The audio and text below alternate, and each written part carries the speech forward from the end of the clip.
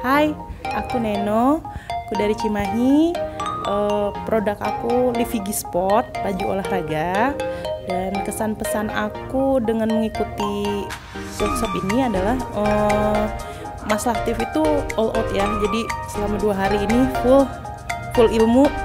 Jadi bikin kita berpikir lagi bagaimana cara untuk launch produk, bagaimana cara kita beriklan, bagaimana cara kita untuk uh, meyakinkan konsumen terhadap uh, produk yang akan kita pasarkan. Terima kasih sebelumnya.